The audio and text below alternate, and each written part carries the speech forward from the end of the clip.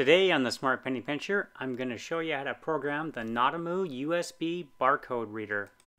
The barcode reader can either be programmed wirelessly or you can plug it right in the port at the bottom for a wired mode into your USB jack. The first thing we're going to do is set this up in wireless mode.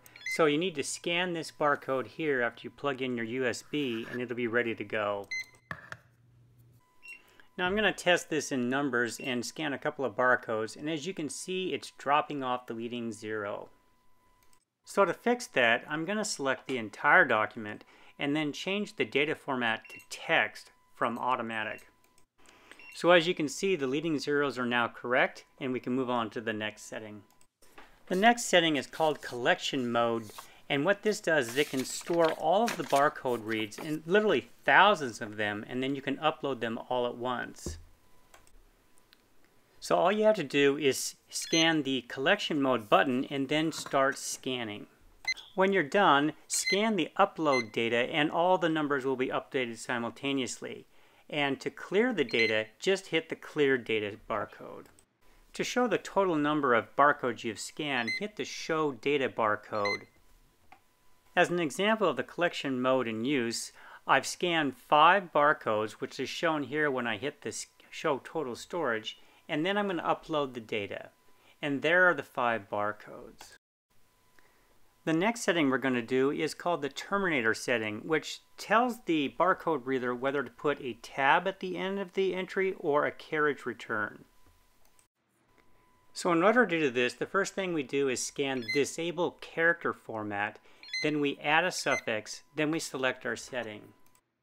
And the setting I just set was the carriage return or CR in the manual where it adds an enter after the data entry. So as you can see in the text editor, after each entry, the cursor returns to the next line with the CR setting. So when we change this to a tab setting, the data is appended to the previous entry as if you were to hit the tab button after it was read. If you'd like to shut off the beep entirely and have a silent reader, just scan the close voice barcode and you can scan without any beep at all. To turn it back on, hit the open voice barcode. So there are a lot of features on the Nadamoo and it may be even more than you need, but for only 35 bucks, this is a pretty good deal. So if we scan here, you can see some of the things it can do. Uh, for one thing, it can go up to 328 feet in the wireless mode, and that should be more than enough for most uh, uses.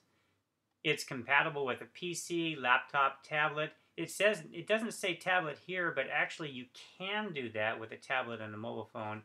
And in order to do that, you need a cable, it's called a Lightning to USB cable adapter. And uh, if you go over to my website, I have a link to that where you can pick this up. Uh, the battery life is super long. Uh, they show 20 hours here. I've never killed the battery, and it only takes a few hours to charge it.